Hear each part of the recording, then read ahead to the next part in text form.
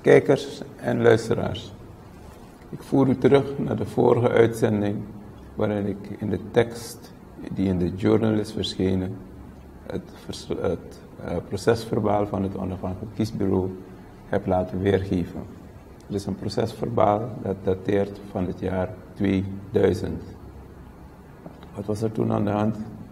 Toen was er aan de hand dat vanuit Nikeri, een van de politieke organisaties, bezwaar had, en had uh, aangetekend tegen de uitslag op het stembureau. De nummers van de stembureaus waren aangegeven in het verzoekschrift. Vervolgens hadden ze bezwaar aangetekend bij het hoofdstembureau tegen de uitslag van die twee kiesbureaus, stembureaus.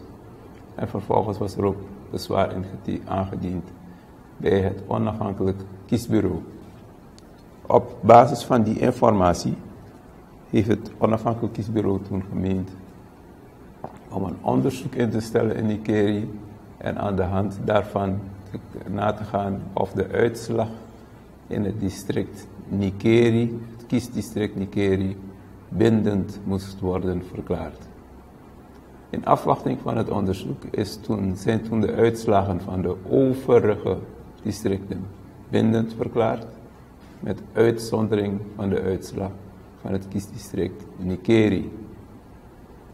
Waarom is dat gedaan? En waarom is dat verklaar, die verklaring aangehouden? Het is namelijk zo dat de kiesregeling voorschrijft dat wanneer het niet onwaarschijnlijk is dat door de nieuwe telling van, een, van de uitslagen van een stembureau het niet onaannemelijk zou kunnen zijn dat de uitslag anders zou uitvallen. Anders gezegd, met gewone woorden.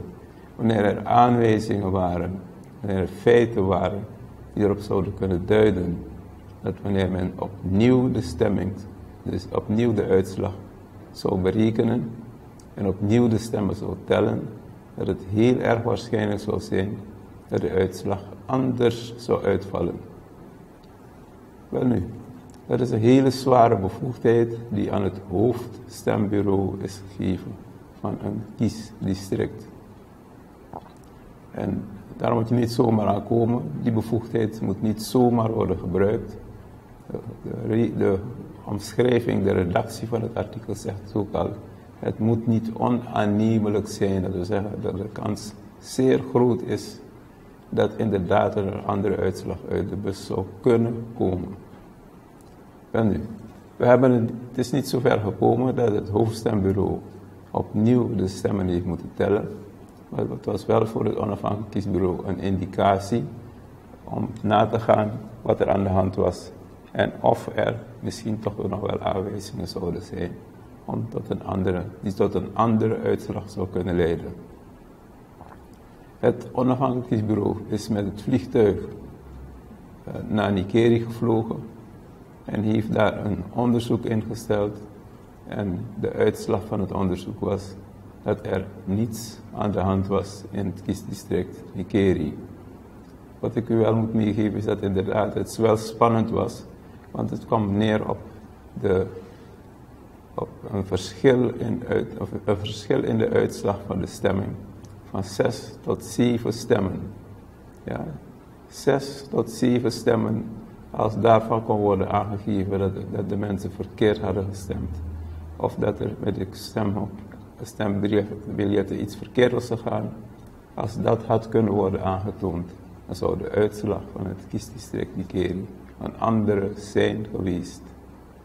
We zijn niet tot die conclusie gekomen. We hebben dat vastgelegd in een procesverbaal. En dat procesverbaal is vervolgens openbaar gemaakt. Ik kan u hierbij vertellen dat toen duidelijk was voor de politieke organisatie die op basis van zes tot zeven stemmen mogelijke zetels zou hebben kunnen winnen, is er toen een kort geding aanhanger gemaakt om de uitspraak van het onafhankelijk kiesbureau te bestrijden en om die uitspraak anders te doen worden. De kantonrechter heeft, dus, heeft die zaak aangenomen.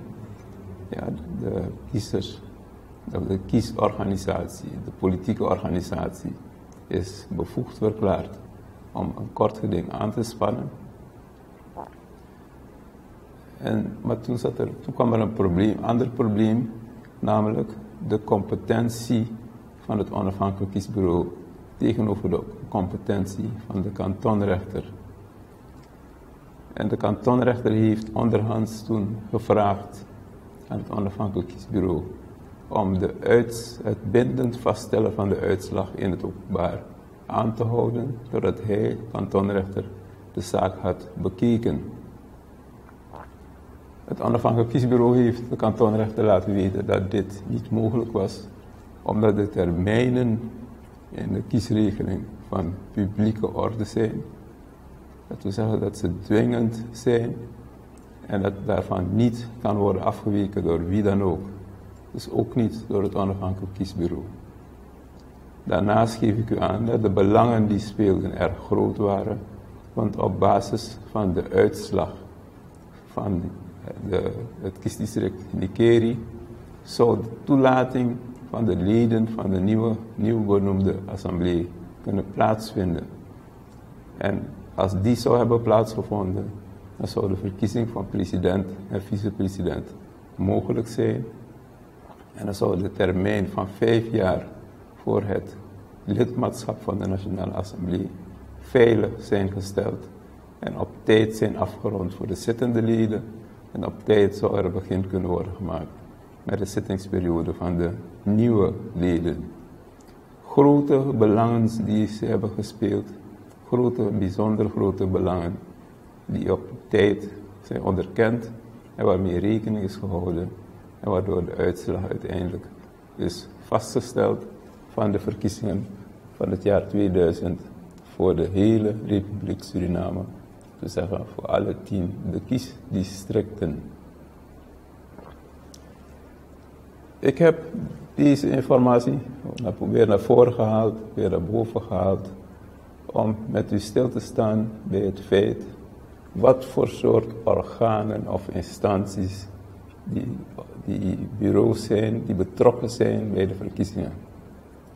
Ik geef u aan de volgorde. Stembureau is het, die zit onderin uh, in de piramide. Dan komt er het hoofdstembureau, dat per district toezicht houdt op de verkiezingen in het kiesdistrict. Boven de tien kiesdistricten is aangesteld het Centraal Hoofdstembureau. En boven het Centraal Hoofdstembureau zetelt het Onafhankelijk Kiesbureau dat de uitslagen van de verkiezingen in alle kiesdistricten, alle tien kiesdistricten, bindend moet vaststellen. Wel nee, ik beperk mij nu, ik heb u al uitvoerig aangegeven wat de bevoegdheden zijn van een hoofdstembureau wanneer men twijfelt aan de uitslag. Een niet onbelangrijke bevoegdheid. Dan is er de bevoegdheid van het Centraal Hoofdstembureau. En als u zich kunt herinneren hoe het is toegegaan bij de laatste verkiezingen, de perikelen die zich hebben voorgedaan, dan is het Centraal Hoofdstembureau in beeld geweest. Ik wil daarop direct een correctie aanbrengen, omdat namelijk de kiesregeling voorschrijft dat er voor de verkiezingen in de tien kiesdistricten met betrekking tot de resortraden er een centraal hoofdstembureau is ingesteld. En er is daarna bepaald in artikel 29 dat er ook apart een centraal hoofdstembureau is ingesteld voor de verkiezingen van de districtsraden. Dus let u goed op, het zijn wel dezelfde mensen geweest die in het Centraal Hoofdstembureau hebben gezeten, maar ze hadden twee petten op. Anders gezegd, er waren twee centrale hoofdstembureaus. Eén voor de verkiezingen van de resortraden en één voor de verkiezingen van de districtsraden. Ik vraag uw aandacht hiervoor, omdat bij de kortgedingen die door per Lohoer zijn ingesteld, er geen rekening is gehouden met het bestaan van twee centrale hoofdstembureaus. En ook in de vonnissen van de kantonrechter, waar het centraal hoofdstembureau partij was, is er geen, geen uh, onderscheid gemaakt en is niet aangegeven welk centraal hoofdstembureau is veroordeeld en op welk, onder welk centraal hoofdstembureau er uh, beslag kan worden gelegd op de goederen van het orgaan. Belangrijk is deze onderscheiding ook omdat moet worden vastgesteld of de, het Centraal Hoofdstembureau partij kon zijn in het kortgeding dat Pertjaal heeft ingesteld. Ik kan de vraag anders stellen of ik zal het probleem op een andere manier aan de orde stellen. Ik ben van oordeel dat er een rechtsgeschil bestond tussen het Centraal Hoofdstembureau, dat weigerde de rechtsgevolgen van de royering van het, en het terug, daardoor terugroepen van de heren Sapoen en Chitan zou kunnen bewerkstelligen. Ja, de rechtsgevolgen die ervoor zouden kunnen zorgen dat die twee heren niet zouden worden toegelaten uiteindelijk in de Nationale Assemblée. Die rechtsgevolgen zijn niet tot stand gekomen. En de vraag is of hier sprake is van een orgaan van de overheid, of er hier sprake is van rechtspersoonlijkheid, of er sprake is van een zelfstandig orgaan dat inderdaad bevoegd was om als partij te kunnen optreden in een rechtsgeschil. Wel nu, daar is geen duidelijkheid over. Waar wel, waar wel duidelijkheid over is, is dat het Centraal Hoofdstembureau is een deel van de centrale overheid. En die centrale overheid is belast via de president en verantwoordelijk voor de verkiezingen. Nog verder gaand kunnen we de vraag stellen, is het Centraal Hoofdstembureau een apart orgaan dat bevoegdheden heeft gekregen via de kiesregeling en is dat orgaan verantwoording verschuldigd aan een minister of aan het onafhankelijk kiesbureau of aan, een ander orgaan.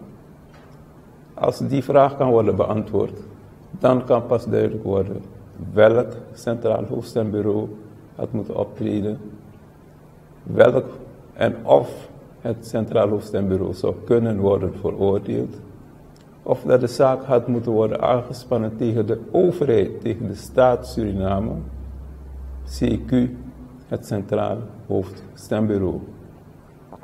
Dat is niet gedaan en heeft de zaak aangespannen tegen het Centraal Hoofdstembureau.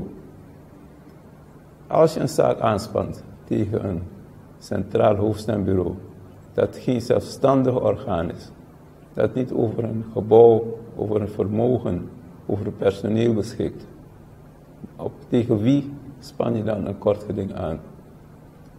Want zo'n zo orgaan dat niet zelfstandig is, dat geen personeel heeft, heeft waarschijnlijk ook geen budget, geen begroting, heeft geen goederen, heeft geen eigendommen.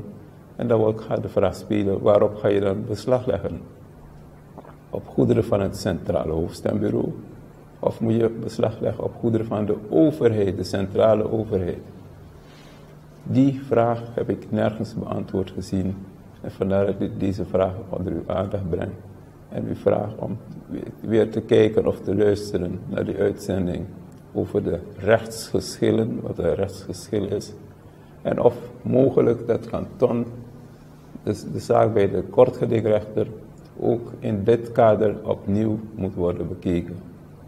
Duidelijk is dat er een rechtsgeschil was, een geschil dat teruggevoerd kan worden op een artikel in de wet, namelijk het artikel of het Centraal Hoofdstembureau na het vonnis van de kortgedingrechter uitvoering zou moeten geven, zou behoren te geven aan het, aan het vonnis van de kortgedingrechter. En of weigering of zou opleveren van onrechtmatige daad tegenover degenen die het kortgeding hadden aangespannen. Een heleboel vragen dus. Ik stel ze, ik breng ze naar voren om uw aandacht ervoor te vragen. En aan de, mede-juristen, collega-juristen te vragen of ze willen kijken naar die vragen of ze de zaak opnieuw willen bekijken en tot een goede conclusie kunnen komen om te zien of het recht inderdaad verdiend is door de uitspraken die de, die de heeft gedaan. Door het leggen van beslag door de partijen die tot V7 behoorden, of dat beslag terecht is gelegd, of dat dat ten onrechte is gelegd. Het is u bekend dat die kwestie nog steeds niet is afgerond, want er is geen uitvoering gegeven aan het vonnis van de kortgedingrechter. Ondertussen zitten de heren Sapoen en Chitan al weer langer dan een jaar in de assemblee. Ze zijn ondanks alle perikelen toegelaten, ze zijn beëdigd en ze voeren hun werk als assembleelid gewoon normaal uit. Alleen is het de vraag tot welke fractie ze behoren in de Nationale Assemblée en of ze zich kunnen aansluiten bij de coalitie of bij de oppositie, of ze als zelfstandige fractie door het leven moeten gaan voor de resterende periode tot 2020. Nogmaals, een heleboel vragen heb ik aan u voorgehouden. En ik heb het gedaan mede omdat dat, dat het procesverbaal van het onafhankelijk kiesbureau weer naar voren moet worden gehaald. Want het onafhankelijk kiesbureau heeft als een autonome, onafhankelijke, zelfstandig orgaan van de overheid wel uitspraken gedaan. En die uitspraken zijn nageleefd, nagekomen. En er is geen enkel kort geding aangespannen tegen het onafhankelijk kiesbureau. Zou het wel zijn gebeurd, dan zouden diezelfde vragen die ik heb gesteld voor het centraal hoofd, die, en die het centraal hoofdstembureau betroffen, ook hier moeten worden gesteld. Was het onafhankelijk kiesbureau een onafhankelijk zelfstandig orgaan van de overheid, dat zelfstandig als rechtspartij zou kunnen optreden, waartegen een vonnis zou kunnen worden uitgesproken en welk orgaan zich dan zou hebben behoren te houden aan de uitspraak van de kantonrechter, van de kortgedingrechter. Ik leg deze zaak aan u voor. Het is een stukje bestuursrecht in de Republiek Suriname. Het zou goed zijn als we antwoorden zouden kunnen vinden op deze vragen. Want daardoor kunnen we vaststellen dat er een nieuw stukje, een nieuwe poot aan het bestuursrecht van Suriname is toegevoegd. Het recht is altijd in ontwikkeling, is niet star en onbuigzaam. Ik hoop dat ik met deze twee voorbeelden mijn collega-juristen aan het werk heb gezet de antwoorden te vinden. En de studenten die rechten studeren, dat die zich ook zullen wagen aan te kijken of inderdaad hier een nieuwe ontwikkeling aan de gang is. Of hier een nieuwe ontwikkeling moet worden gestart. Of dat we de zaak moeten laten zoals die is. 2020 is dichtbij. Het is goed als deze zaken op een goede, heldere en duidelijke manier worden vastgesteld. Ik dank u voor uw aandacht en ik wens u een prettige avond toe. Goedenavond.